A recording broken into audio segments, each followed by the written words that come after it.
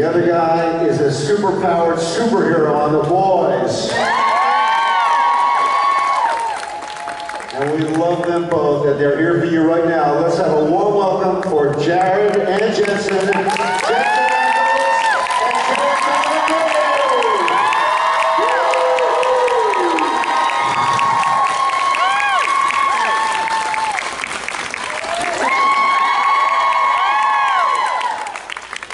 Howdy, y'all. Hey. Yes, that worked. How's it going? I've been doing like dad slash Canada jokes for the last day and a half, and I have not had a, a positive reception. It's just nice that- that- Why stop trying? I work, I work now, so I'll, I'll, I'll take the win. Well, they got the hot lights on today. No, that's just Who you. in here, uh, just show of hands, who in here had uh, a hotel fire alarm go off this morning that kept them up for a couple hours? So apologies. I'm ice packing my eyes. I was like, I'm not able to see anybody. Um, I like to see the lights. Uh, Like about 5:50 a.m. Oh. And this cut, cut to cut to s- s- the window opening on the 14th floor of just this. Seeing people like walking out in like their bathrobes and like stuff like very, and I just looked. I'm like, no. And not only an alarm, but they were saying, the, the mechanical voice is like, There's an "Do not- emergency." There's an emergency. Do not use the elevator. I'm like, Use the "Ninth stairs. There's an emergency. I'm barefooted. Wait for instructions outside. And, And then- I'm like, not going. It's like, do I, do I go out naked just to say like, hey,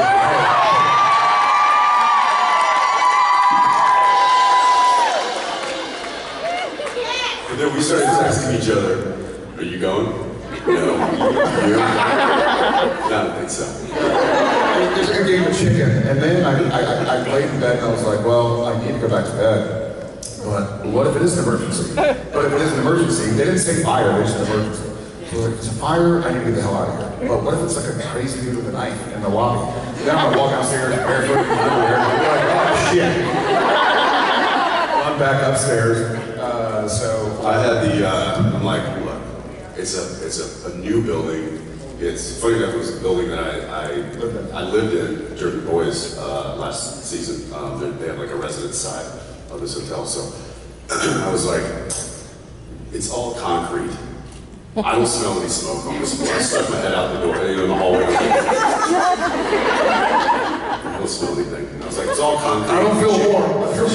Chances are, if, if there is a fire, it's on a different floor. It's probably not gonna. I think I'm okay. So I lay back down in bed and I'm like, what if it's a bomb? The world we live in. That's our way. What do you mean this is Canada? You know,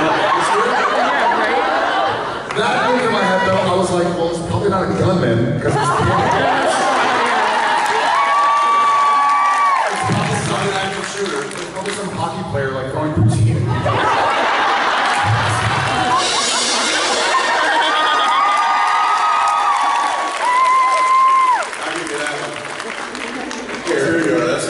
two for two today. it's gonna be a good day. It's getting better. It, it, it lasted for what, 40 minutes? Yeah. The alarm. Uh, just like twice as long as it takes to really piss you off. I was double pissed off. And I've been to, we, I think we've both been to hotels before where somebody is drunk and they, they yank the thing to Yeah. your, and you're like, okay, this will go off in five minutes. One of the texts, because Cliffy and Atlas and I were texting, and Jensen was like, I think at about the 20 minute mark, he's like, the fire department is literally one block away. I used to walk past it all the time. Why is this taking so long? It took 20 minutes for them to get there. I'm literally, I could have probably like crawled to the fire department in five minutes. It's literally a block away. You could have crawled to the fire and just gone. hey, okay. Um, anyways. Uh, Feeling good. Feeling good. I'm two. so I'm not-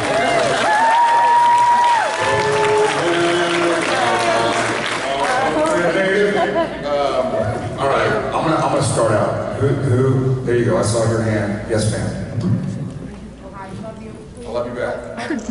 Oh, hi.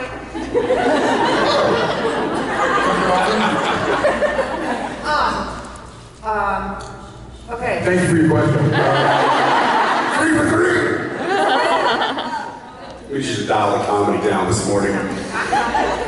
Um, we kind of thought that at the end, Jesse, the Antichrist, should have like showed up and took care of Chuck because he's the Antichrist. You know, come back from Australia and surfing and, you know. And now he ends up as gunpowder? I was gonna say, he's a little busy being my sidekick. I also threw a seven years old. That's true. His dad's like, you're not going back to Supernatural. Yeah, those guys are crazy. Is, is that what it was? It was like, where's Jesse? He's being gunpowder. I think there are a few, like, whatever happened to Adam? He came, I guess. Um, But, yeah, I think, I think once uh, the, the supernatural train got headed on certain tracks, it just kind of stayed the route. Uh, it would have been fun to have him back. He's like a, a man now. He's a child. Uh, he was the Antichrist. Yeah, he's, uh, it was really cool to, to, to see you work with Gavin again, uh, last year on The Boys. He showed up and I was like, hey, you look familiar. And he was like, yeah.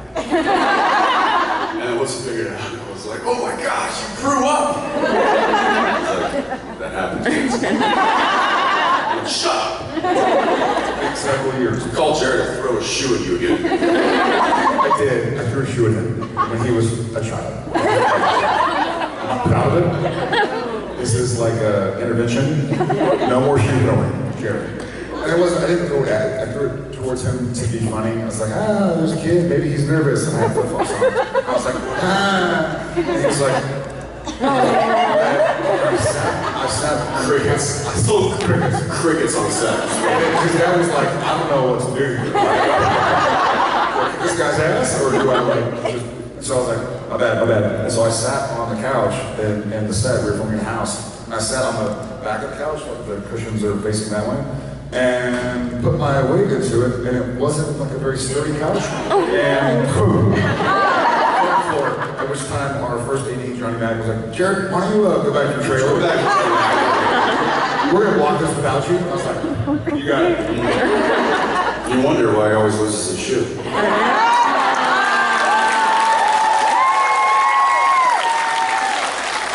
One for eleven. Three for three, man. All right. Yeah. Thank you. Uh, yes, sir, back. Yep. You with the mask. four for four. Chill out. I'm totally beating you right now. Thank you. Uh, so with the show running for 15 years, and, and there was a lot of serious storylines, a lot of lighter storylines, uh, as, as you know, the two main actors who were involved in pretty much everything, I was wondering, wa- was there ever a time where you picked up a script and you're reading either a plot point or, or even a larger story arc, and you kind of said to yourself, Really? This is what we're doing? Like, this is kind of ridiculous, but like, okay. Yes, 327 times. Picked up a script and said like, wait, we're gonna, we're gonna. What are we doing? Why are we gonna? Uh, I do. I, the, the first thing that came to my mind is uh, after season five ended, and then Sera Gamble took over the show. We were all, I'm sure y'all were as well, going like, what the hell do we do now? Yeah. So I was in LA for some reason, and I was like, "Hey Sera, like I, I'd love to come by. I was going to bring a, a bottle of wine and whatever, a note, a congratulations on being the showrunner." Because she started out as a as one of a pair of writers, Raelle Tucker and Sera Gamble. They would like write a supernatural script and send it in to Kripke and be like, "I like it. I'm going to use it." And so then she became the showrunner, and I was like, "That's a really cool story." Uh, and she's super talented. And so I went and we shot shit, talked about family and life, and that. And I was like, so, season six, like I'm sure you're kind of breaking it right now, and uh, you in the writer's room or, or trying to figure out what we're doing. What are we doing? And she's my boss at the point in time. And so she's like, well, it's kind of kind of cool, kind of crazy, kind of cool. I was like, okay. And she goes, uh, Sam comes back. Obviously, come see him standing outside, um, and you come back, but you're soulless. And I was like, cool. Sounds great, man. The fuck does that mean? Um, so I, I just kind of went in my head of like, I've done some crazy stuff between seasons one and five. I was like, I have no idea how to play soulless. I didn't know where to begin. But then luckily, because I'd had that conversation with her, I had like two or three months to try and figure out what I was going to do. Uh, but certainly that was like a, a, a mic drop record skip moment. Like, so, soulless? Like, what does the soul do? Like, how, how do I do that? Um, so that, that for me was uh, a standout for sure. Yeah, we uh, we got a lot of those kind of like WTF moments reading these scripts, and um, but again, I think that that's that's one thing that Supernatural did very well was took risks. We swung for the fences a lot, and it's a testament to uh, you guys for staying with us when we did that. And uh, I think, I think Kripke said it uh, a long, long time ago. Um, you know the phrase "jumping the shark." Yeah. Kripke goes, it's not jumping the shark if you never come down. Yeah. And I don't think we ever came down. We just kept, kept going. And-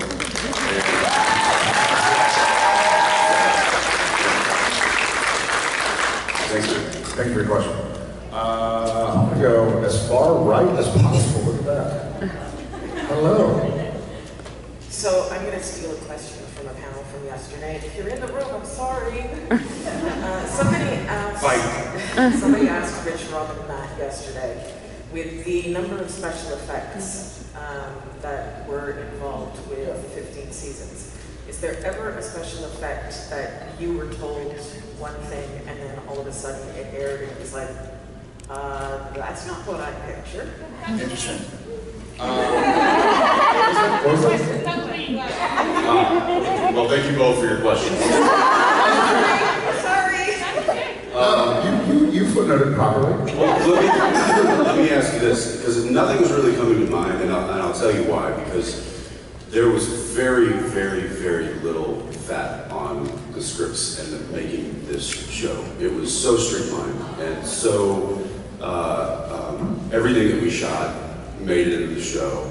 Uh, everything that was planned generally happened. It was very rare that there would be some left field thing that would occur in the final product that we weren't at least made aware of or wasn't on the it wasn't in the script. Um, that being said, did some, did they answer? Did they give an answer yesterday that was? I have Specific? If I remember, I think it was um, Rob mentioning God bringing um, Kevin back up to heaven.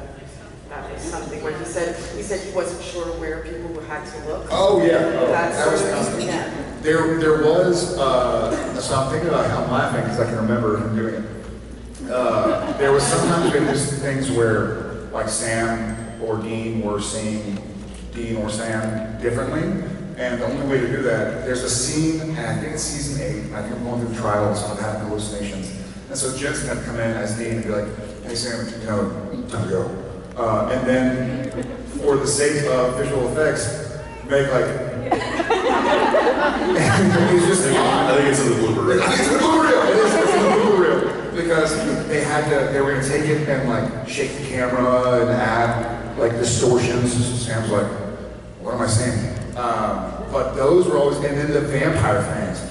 Those sucked up because they would fit you for uh, like mouth guards, top bottom, but they were pretty rigid. So anybody, any stunt man or woman, any actor or actress, if you had to play a, a vampire, the inside of your mouth was all cut up afterwards. Because you're kind of like, yeah, you're kind of like sitting there, you know, there's Also, giant- just drool. Like, you couldn't really like close your lips and stuff, so you you drove anyways, so that was It's a problem. Uh, but yeah, like So you're getting caught, and then you have to do a, a shot where you reveal your fangs, and you're like, well, it's pretty obvious I have something in my mouth because you look like this.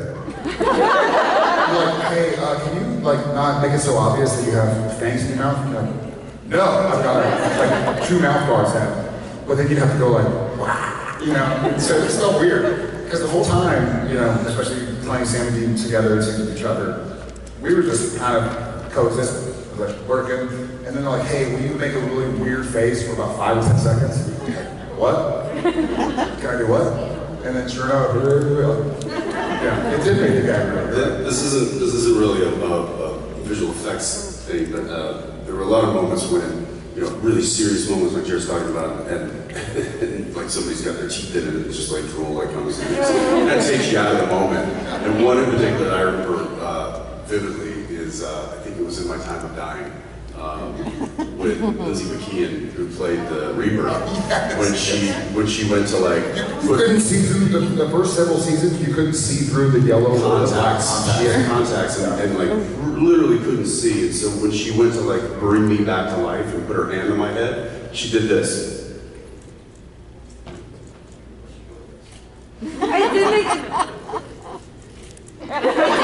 Every take, I had to move her hand and put it on my head because she was just like, Yeah, closing your eyes and trying to. It's in the gag reel. what's that? It's in the gag reel too. There you go. See? You guys know, it's all right there. Whatever you'd like to know, it's right there in the game. And thank you all for your question. I, I s- I still think that Warner Brothers should release like a six hour.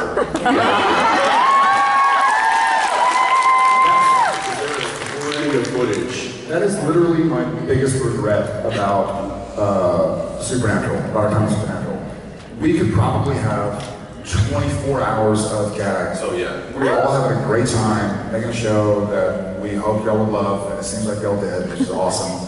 Uh, and so then they had to cut it down, and the gag reels are hilarious. But I was like, man, there was so, like, there would have been We had enough material for the gag reel in the first two episodes of every of season. every season. it could have been an entire season of gags, like 15 episodes. Like, here's every time they were jerking off on.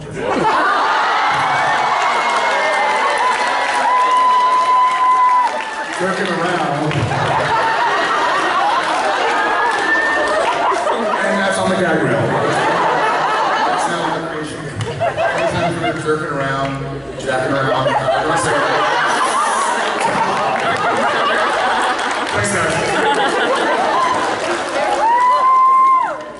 Saying every season. Or, pull up, pull up. We're gonna die, pull up. Every season could have had a, a hour long episode, an hour long episode. I'm gonna be more careful with my words. Uh, with Why did they do that? They could have literally added a whole, yeah. I'd have watched every episode. Okay, Okay. it would have been the highest rated episode of the season. Uh, anyway, okay. What, what, about, what about her question? Since- Can you ask her a question? No, that was her question. I know, but maybe she can ask her question. She asked her. Again, fair enough. Fire alarm. Uh, right here in the center. Me? Yes. Oh boy. I'm nervous as hell right now, but I'll try not to die. So hi Jared, hi Jensen. This is my second convention. I just want to say thank you for helping save my life and for playing characters who like helped save my life. 'cause I was going through some really dark shit in high school and life in general. So um, you guys can call me a pain in the ass, but uh, Jensen, who do you think would win in a combat fight between your new characters, Sheriff Beau and Big Sky, Dean, Soldier Boy, Michael Dean, or Demon Dean?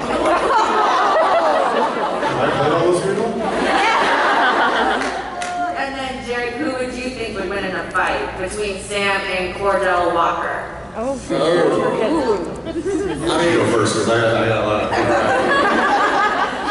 I gotta be honest, Sam would kick his ass. I love Cordell Walker, but he's a bit of a softie. he's got kids, and he's like, man, can we just like, let's have a beer or something? Get along. Sam's like, dude, I killed Lucifer. Like, what, what are you gonna do to me? and Sam had longer hair. And was younger, had mutant powers, was about 20 pounds Yeah, one for heavier. one for it, basically. Yeah. It was all downhill after Sam. Man, uh, well, I, I, I think we could take any mortal version of character out because you know, Beau, mm-mm, bye. Uh, uh, Dean, I'm sorry, pal. You already died. Yeah. Um, now you're talking Demon Dean? No. Uh, well, see, now you're talking like not superpowers. You're talking about supernatural powers. And so I think I think Soldier Boy's out because he's just he's just a tough guy with a really bad attitude. Um, Demon Dean probably, but gray hair would be next to him.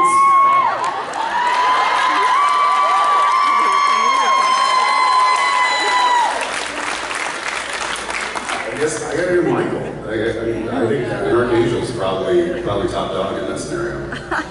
Fair, sure. Thank you for your question. Thank you. Um, I'm gonna see if you can repeat her question. She repeated yours, so I, I feel like, uh, I feel like. It's actually a Canada-related question. Oh, oh, Canada. As a proud Canadian, I'm very curious to know, as boys growing up in Texas, what your impressions or like learning about Canada was like when you were young. I'm always curious, you know, what Oh, you international mean what- people what think growing of- Yeah, like international people like either learn about it, hear about Canada, or think about it. And was there anything that really surprised you when you first started living and working?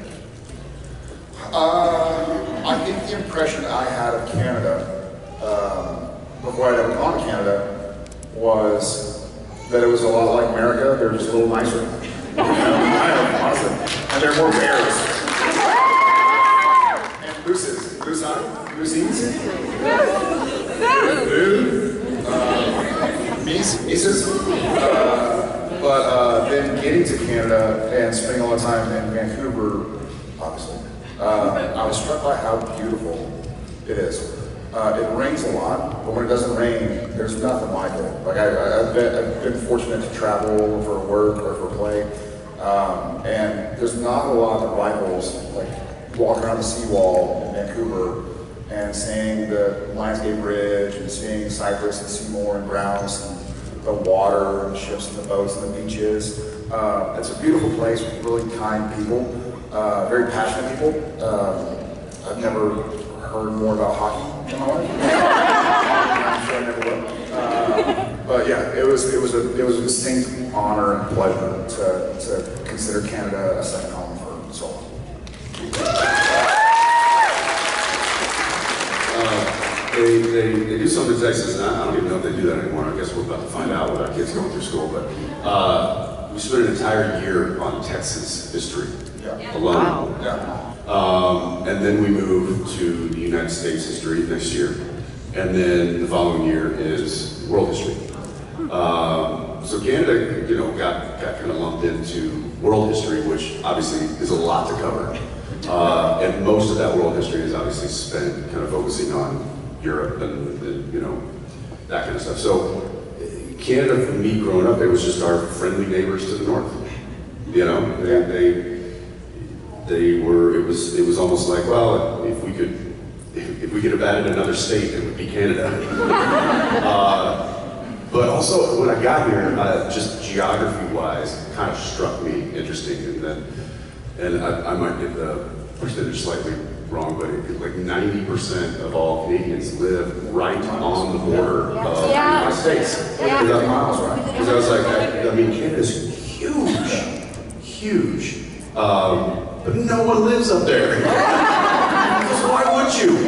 They're like two guys that are practicing for a loan. And, uh, and, and then also, I think, uh, I think a large percentage of, of that percentage lives below the northern border. So, like, if you're looking at a map, the northern border of the United States, most of the United States, is actually above where most Canadians live. Yeah. right? Because it dips down Yeah. over here where we are in Ontario, and a large majority of the population in Canada is here because this is the biggest city. Um, so I just I found the geography of that all very very fascinating. Um, and and uh, yeah, and then also the people I've, I've got lifelong friends that are Canadians now. Not and I'm not talking about Cliff because Cliff is bad. But uh, uh, yeah, this is uh, this has been. I think Jared and I can certainly consider this a second home. Yeah. Uh, and, and my only complaint about working for so long uh, in well in Vancouver, but in Canada, um, was that uh, that it wasn't my home. That was the only complaint. I was like, but what a what a great second home. Yeah. So I, I will say this. I will say that I had I had spent time in Toronto on the Academy Award-winning Olsen twin movie that I did. It's okay. It's okay. Science Academy. Yeah, science. uh, but I had never been to the West Coast. Um, but I knew that Canadians, or I, you know, had met a very large amount of uh, very kind Canadians. Then, in the first two weeks of shooting Supernatural in Vancouver, my car got broken into, and all my change and my tennis racket got stolen, and then he and I got jumped. I was like, this place is supposed to have nice people. Come on here. Not nice if we lose hockey. It's not, it's not hockey players or something. You need to come to Newfoundland. Yes. What was it? Newfoundland. Newfie, we had a Newfie work on our show. His name was Steve Martin. He was the nicest person on the planet. Come to Ottawa. Come to Ottawa. Come to Ottawa. Steve Martin. the banjo player, comedian, Steve Martin? No, Steve Martin, our Newfie. He was a PA. Oh yeah, yes. The nicest guy on the planet. Uh, I think he moved back to Newfoundland. Um, I love Newfoundland. The Maritimes. Come to Ottawa. Labrador. What about Labrador? Yes, I bud. love dogs. That's what you have there, right? Retrievers? What do you call retrievers here? Like Ontario Duck Retriever? Have you ever seen Have you ever seen Jim Gaffigan's bit about about Newfoundland and the the time zones? Yes. He's like he's like uh, all right, just a little bit of housekeeping here. Newfoundland, um, the time time zone. Do you want to be uh, East Coast or do you want to be uh, what's the, the next one? Central. It's, uh, yeah, Central. and, uh, and, they're, they're like half hour. Yeah. They're a half hour different, right? Yeah. Hour and a half Hour and a here. half. Yeah, it's not an hour. Different. And a half hour. That's a pretty boss move. They're like, really? A half hour? Yeah. An hour and a half. Well, we're just on a half hour, as opposed to, I, I, I I find that We fascinating. like tw- uh, 22 minutes ahead. Anyway, anyway, if you haven't seen that Gaffigan uh, clip about Canada, it's pretty, it's pretty good. All right, it's you. I think it's the last. Uh, is it? All right, I think last question. Last question. Okay, we, we've been over uh, this way. How about all the way with the boys t-shirt? I want that shirt. Amazon. Give him your shirt. Amazon. Let's All right. trade shirts right now.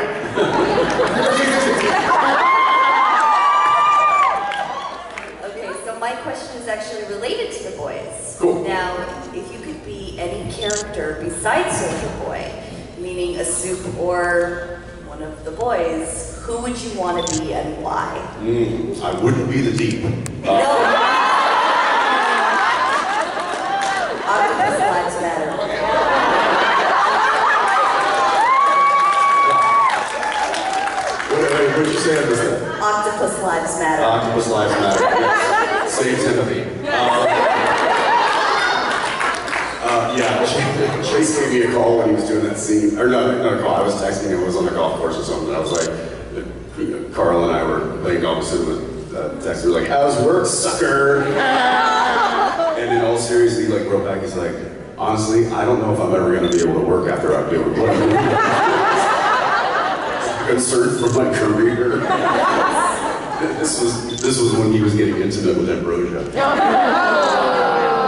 But, yeah. Um, that's a good question. There's so many great characters on on, on the show. Uh, I look, I I'm, ha- I'm happy that I got to play the one that I did, um, and I, I certainly wouldn't change that. But if you take Soldier Boy off the table, uh, I mean, I, I think I'm a huge fan of Butcher. I also feel like he is the he is the extreme version of Dean Winchester. Yeah, yeah, he's he's what he's how Kripke wanted to write Dean, but never got to. So I, I feel like he's taking out some of that uh, pent up uh, pent up stuff and, and exposing that with Butcher, which is great. So I, I enjoy. And Karl knocks it out of the park every take. Like working with him, I, I found myself being an audience member more than I should have. uh, where it's like, oh shit, it's my line. Uh, so that's it was an awesome, awesome experience. Um, yeah. I, I will say this before we leave. Uh, Eric Kripke sent me a, a text on my birthday. Um, like, dude, I can't believe you're 40. I remember thinking you were too young. He's like, Sam, now you're too old. He's a funny sense humor.